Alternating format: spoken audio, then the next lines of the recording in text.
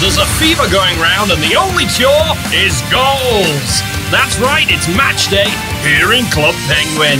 Both of today's teams are eager to show they've got the passion, the drive, and the silky, silky skills to win this year's Penguin Cup. There's an intense rivalry between the Sharks captain, Polo Field, and the Hot Sauce captain, Ninja. A rivalry so hot it should come with a warning label. Ouch! Ouch indeed. Ninja still hasn't forgiven Polo for that cheap shot in their last match. Indeed, of course, there was speculation that Ninja fell a little too easy. He was less like an agile ninja and more like a clumsy sack of potatoes. We caught up with both teams and they prepared to give it all up for the cup. Yeah, we got a, uh, a, you know pretty rigorous training schedule. We're definitely prepared, and uh, you know I think we've we've got a really good team this year. And what are your thoughts on your rival Hot Sauce? Yeah, they they uh, they have a really good team and they play really hard. So uh, you know we want to score early and win every yard if we can.